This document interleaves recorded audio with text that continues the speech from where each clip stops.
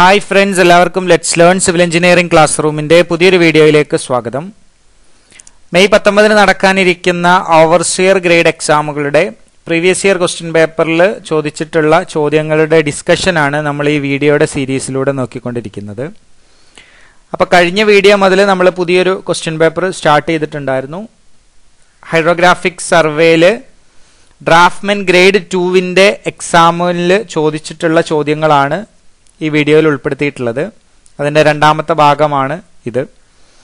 അപ്പോൾ ഇതിൽ കൂടുതലായിട്ടും ഹൈഡ്രോഗ്രാഫിക് സർവേ ആയിട്ട് റിലേറ്റ് ചെയ്തിട്ടുള്ള ചില പുതിയ ടേമുകളും അതേപോലെ തന്നെ അതുമായിട്ട് റിലേറ്റ് ചെയ്തിട്ടുള്ള ക്വസ്റ്റ്യൻസ് ആണ് ചോദിച്ചിട്ടുള്ളത്. അപ്പോൾ എല്ലാവരും ഈ ചാനൽ സബ്സ്ക്രൈബ് ചെയ്യുക. ഇതുപോലത്തെ വീഡിയോസിന് നോട്ടിഫിക്കേഷൻ ലഭിക്കാൻ വേണ്ടിയിട്ട് ബെൽ ബട്ടൺ ക്ലിക്ക് ചെയ്യുക. അപ്പോൾ നമുക്ക് ഒന്നാമത്തെ ചോദ്യം ഏതാണെന്ന് നോക്കാം. Sometimes bottom of sounding rods are provided with shoes of cup shaped cavity this is for അതായത് നമ്മൾ സൗണ്ടിങ്ങിന് വേണ്ടി ഉപയോഗിക്കുന്ന സൗണ്ടിങ് റോഡിന്റെ താഴ്ഭാഗത്ത് ചില സമയത്ത് ഒരു ഷൂ പ്രൊവൈഡ് ചെയ്തിട്ടുണ്ടാവും which is having a cup shaped cavity അതിനെന്തുണ്ടാവും? ഒരു കപ്പ് ഷേപ്ഡ് ക്യാവിറ്റി ഉണ്ടാവും. എന്തിനാണ് ഇങ്ങനെ കപ്പ് ഷേപ്ഡ് ക്യാവിറ്റി ഉള്ള ഷൂസ് സൗണ്ടിങ് റോഡിന്റെ താഴ്ഭാഗത്ത് പ്രൊവൈഡ് ചെയ്തിട്ടുള്ളത് എന്നുള്ളതാണ് ചോദ്യം. അപ്പോൾ നമ്മൾ കഴിഞ്ഞ വീഡിയോയിൽ എന്താണ് സൗണ്ടിങ് എന്ന് എക്സ്പ്ലെയിൻ ചെയ്തിട്ടുണ്ടായിരുന്നു. സൗണ്ടിങ് എന്ന് പറഞ്ഞാൽ മൂവിങ് അല്ലെങ്കിൽ സ്റ്റിൽ വാട്ടറിൽ വാട്ടറിന്റെ ഡെപ്ത് വാട്ടറിന്റെ സർഫസിൽ നിന്ന് മെഷർ ചെയ്യുന്നതിനെയാണ് നമ്മൾ സൗണ്ടിങ് എന്ന് പറയാം. സൗണ്ടിങ് ചെയ്യുന്നത് എന്തിനാണ്? സൗണ്ടിങ് നമ്മൾ സാധാരണയായിട്ട് ചെയ്യുന്നത് കടലിന്റെ അല്ലെങ്കിൽ ഒരു സ്ട്രീമിന്റെ ഒക്കെ ബെഡ് ഫീച്ചേഴ്സ് അറിയാൻ വേണ്ടിയിട്ടും അല്ലെങ്കിൽ റൂട്ട് പ്രിപ്പയർ ചെയ്യാൻ വേണ്ടിയിട്ടൊക്കെയാണ് നമ്മൾ സൗണ്ടിങ് എന്ന് പറഞ്ഞ പ്രോസസ്സ് ചെയ്യാറുള്ളത്. അതായത് വാട്ടറിന്റെ ഡെപ്ത് കണ്ടുപിടിക്കുന്നത്. അപ്പൊ ഇങ്ങനെ സൗണ്ടിങ് ചെയ്യാൻ വേണ്ടിയിട്ട് ഒരുപാട് ഇൻസ്ട്രുമെന്റുകൾ ഉപയോഗിക്കുന്നുണ്ടെന്ന് കഴിഞ്ഞ വീഡിയോയിൽ പറഞ്ഞിട്ടുണ്ടായിരുന്നു. അപ്പൊ അതിലുള്ള ഒരു സൗണ്ടിങ് ഇൻസ്ട്രുമെന്റ് ആണ് സൗണ്ടിങ് റോഡ് എന്നുള്ളത്. സൗണ്ടിങ് റോഡ് എന്ന് പറഞ്ഞു കഴിഞ്ഞാൽ ഡെപ്ത് കുറഞ്ഞ സ്ഥലങ്ങളിലാണ് ഈ സൗണ്ടിങ് റോഡുകൾ ഉപയോഗിക്കുക. ഈ ഫിഗറിൽ കാണിച്ചിരിക്കുന്ന സൗണ്ടിങ് റോഡ് അല്ല മറിച്ച് സൗണ്ടിങ് ചെയിൻ ആണ്. അത് മറ്റൊരു ഇൻസ്ട്രുമെന്റ് ആണ്. സൗണ്ടിങ് എടുക്കാൻ വേണ്ടി നമ്മൾ ഉപയോഗിക്കുന്ന വേറൊരു ഇൻസ്ട്രുമെന്റ് ആണ് സൗണ്ടിങ് ചെയിൻ സൗണ്ടിങ് റോഡ് എന്ന് പറഞ്ഞാൽ നമ്മൾ ഒരു ലെവലിംഗ് സ്റ്റാഫിനെയൊക്കെ പോലെ ആയിരിക്കും സൗണ്ടിങ് റോഡ് ഉണ്ടാവും അതിന്റെ ഗ്രാജുവേഷൻസ് താഴത്തുനിന്ന് സീറോയിൽ നിന്ന് മുകളിലേക്ക് എന്ത് ചെയ്തിട്ടുണ്ടാവും? ഗ്രാജുവേറ്റ് ചെയ്തിട്ടുണ്ടാവും. അപ്പൊ നമുക്കറിയാം വെള്ളത്തിൽ ആ സൗണ്ടിങ് റോഡ് മുക്കിക്കഴിഞ്ഞാൽ അടിഭാഗത്ത് തട്ടുന്ന സമയത്ത് ആ ഫ്രീ വാട്ടർ സർഫസിൽ എത്രയാണോ മെഷർമെന്റ് വരുന്നത്? അതായിരിക്കും ആ ഡെപ്ത് ഓഫ് വാട്ടർ എന്നുള്ളത്. അപ്പൊ നമ്മൾ ഇങ്ങനെ ഒരു സൗണ്ടിങ് റോഡ് പ്രൊവൈഡ് ചെയ്യുമ്പോൾ ആ സൗണ്ടിങ് റോഡിന്റെ താഴ്ഭാഗത്തായിട്ട് ചില സമയത്ത് നമ്മൾ എന്ത് ചെയ്യും? ഒരു കപ്പ് ഷേപ്പ്ഡ് ക്യാവിറ്റി കൊടുത്തിട്ടുണ്ട്. ഒരു ഷൂ ഉണ്ടാവും. കാരണം നമുക്കറിയാം ആ ഷൂവിന് അത്യാവശ്യം വെയിറ്റ് ഉണ്ടാവും. അത് പെട്ടെന്ന് സിങ്ക് ചെയ്ത് പോകാൻ വേണ്ടിയിട്ട്. അതേപോലെ തന്നെ അതിന് താഴെ ഒരു ആരോ പ്രൊവൈഡ് ചെയ്തിട്ടുണ്ടാവും. അത് അപ്രൈറ്റ് ആയിട്ട് നിൽക്കാൻ വേണ്ടിയിട്ട്. എന്നാൽ ഈ കപ്പ് ഷേപ്പ്ഡ് ക്യാവിറ്റി പ്രൊവൈഡ് ചെയ്തിട്ടുള്ളത് താഴ്ഭാഗത്തുള്ള ആ സ്ട്രീമിന്റെ ഫീച്ചേഴ്സ് എന്താണ്? അല്ലെങ്കിൽ അവിടെ അവിടെയുള്ള മെറ്റീരിയൽ എന്താണ് എന്നറിയാൻ വേണ്ടിയിട്ടും അവിടുത്തെ സാമ്പിൾസ് കളക്ട് ചെയ്യാൻ വേണ്ടിയിട്ടുമാണ് ഇങ്ങനെ ക്യാവിറ്റീസ് പ്രൊവൈഡ് ചെയ്തിട്ടുള്ളത്. അപ്പൊ എന്തിനാണ് കപ്പ് ഷേപ്ഡ് ക്യാവിറ്റി പ്രൊവൈഡ് ചെയ്തിട്ടുള്ളത് സൗണ്ടിങ് റോഡിൽ എന്നുള്ള ചോദ്യം ചോദിച്ചാൽ അതിന്റെ answer to collect the samples of materials at the bottom താഴ്ഭാഗത്തുള്ള materials അതിന്റെ സാമ്പിൾ കളക്ട് ചെയ്യാൻ വേണ്ടിയിട്ടാണ് കപ്പ് ഷേപ്ഡ് ക്യാവിറ്റി നമ്മൾ എന്ത് ചെയ്യുന്നത് സൗണ്ടിങ് റോഡിൽ ഉപയോഗിക്കുന്നത്. അപ്പൊ ഇവിടെ കാണിച്ചിട്ടുള്ള ഈ സൗണ്ടിങ് ചെയിനിന്റെയും താഴ്ഭാഗത്ത് നിങ്ങൾക്ക് ഒരു വെയിറ്റ് കാണാം. അതേപോലെ തന്നെ അതിലും എന്തുണ്ട്? ക്യാവിറ്റി കൊടുത്തിട്ടുണ്ട്. അപ്പൊ അതൊക്കെ എന്താണ്? മെറ്റീരിയൽ കളക്ട് ചെയ്യാൻ വേണ്ടിയിട്ടാണ് ക്യാവിറ്റി പ്രൊവൈഡ് ചെയ്തിട്ടുണ്ടാവുക.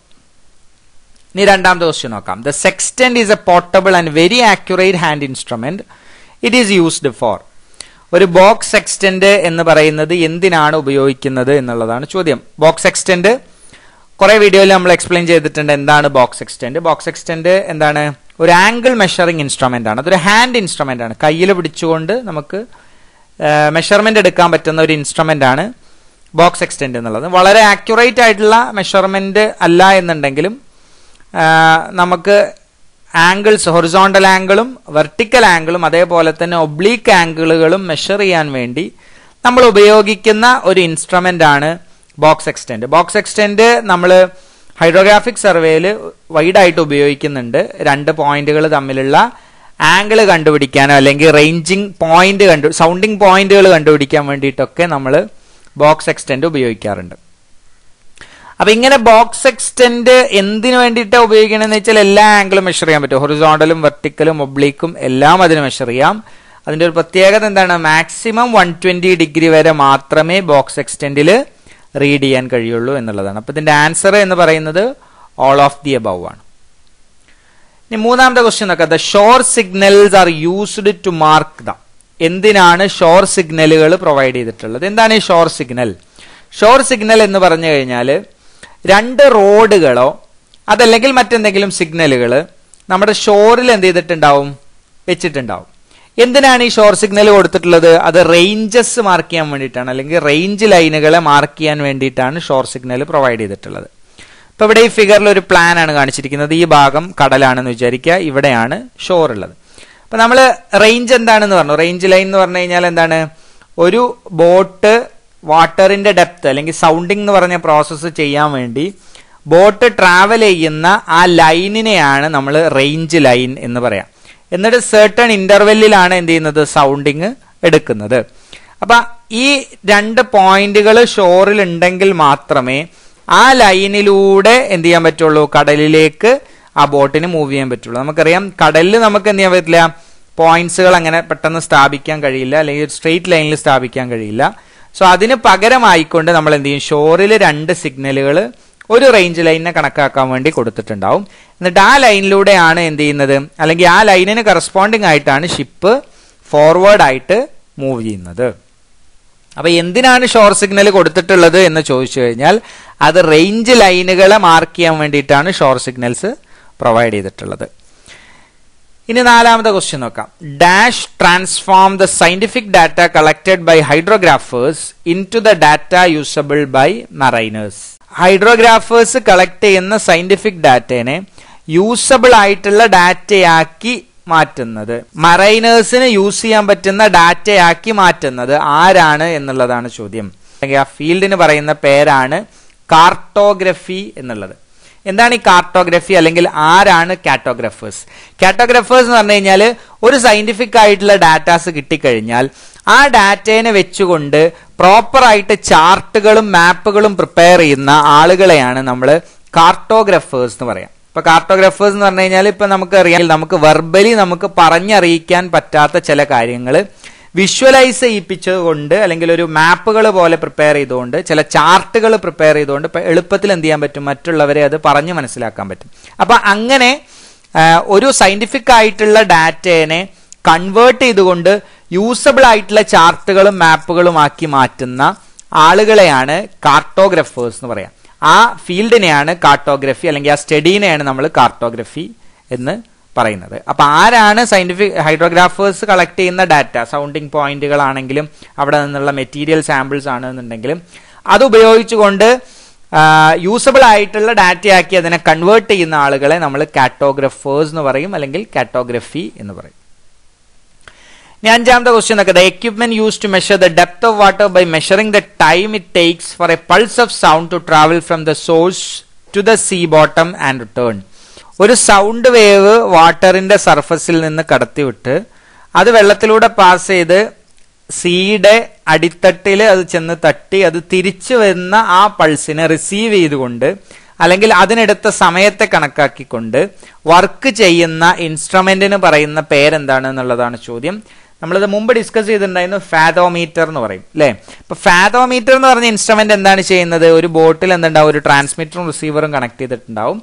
ആ ട്രാൻസ്മിറ്റർ എന്ത് ചെയ്യും? അതിൽ നിന്ന് സൗണ്ട് വേവുകൾ ജനറേറ്റ് ചെയ്തുകൊണ്ട് താഴത്തേക്ക് വേവ്സിന് ജനറേറ്റ് ചെയ്ത് ആ വേവ് തിരിച്ച് വരുന്ന സമയം. അതേപോലെ തന്നെ ആ വേവിന്റെ വെലോസിറ്റിയും കൂടെ കൺസിഡർ ചെയ്ത് ആ വെലോസിറ്റിയും ഡബിൾ ട്രാൻസിറ്റ് ടൈമും എടുത്തുകൊണ്ട് ഒരു ഡെപ്ത് കണ്ടുപിടിക്കുന്ന ഇൻസ്ട്രുമെന്റിനെയാണ് നമ്മൾ ഫാദോമീറ്റർ എന്ന് പറഞ്ഞിട്ടുണ്ടായിരുന്നത് അല്ലെ അപ്പോൾ ഫാദോമീറ്റർ തന്നെയാണ് എന്ത്? എക്കോ സൗണ്ടർ എന്നുള്ളതും. എക്കോ സൗണ്ടർ അല്ലെങ്കിൽ ഫാദോമീറ്റർ ഉപയോഗിക്കുന്ന പ്രിൻസിപ്പിൾ എന്ന് പറയുന്നത് എന്താണ്? എക്കോ സൗണ്ടറിന്റെ എക്കോ സൗണ്ടറിന്റെ പ്രിൻസിപ്പിളാണ് അല്ലെങ്കിൽ ഫാദോമീറ്റർ തന്നെയാണ് എന്ത്? എക്കോ സൗണ്ടർ എന്നത്. ആറാമത്തെ ക്വസ്റ്റ്യൻ നോക്കുക the light weight electronic position fixing system which commonly used is നമ്മളൊരു പോയിന്റ് ഫിക്സ് ചെയ്യാൻ വേണ്ടിയിട്ട് ഉപയോഗിക്കുന്ന ഒരു ഇലക്ട്രോണിക് ലൈറ്റ് വെയിറ്റ് ആയിട്ടുള്ള ഒരു ഇലക്ട്രോണിക് എക്യുപ്മെന്റ് ഒരു സിസ്റ്റം ആ സിസ്റ്റത്തിന് കോമൺ ആയിട്ട് ഉപയോഗിക്കുന്ന ഏതാണെന്നുള്ളതാണ് ഇവിടുത്തെ ചോദ്യം. ഇതിന്റെ ആൻസർ എന്ന് പറയുന്നത് ഓപ്ഷൻ ബി ആണ് ഫ്ലിഫിക്സ് എന്നുള്ളതാണ്.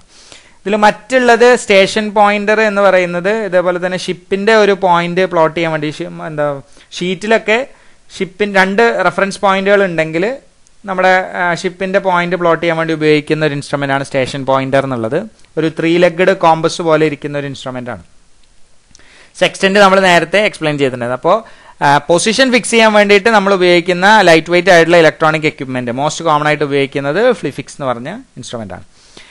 ഏഴാമത്തെ ക്വസ്റ്റ്യൻ നോക്കാം to know the current of water the simplest method is to watch a dash observer the time taken to traverse a particular distance ഒരു വെള്ളത്തിന്റെ കറണ്ട് അറിയാൻ വേണ്ടിയിട്ട് ഒരു ഒഴുക്ക് അറിയാൻ വേണ്ടിയിട്ട് ഏറ്റവും സിമ്പിൾ ആയിട്ടുള്ള മെത്തേഡ് ഏതാണ്?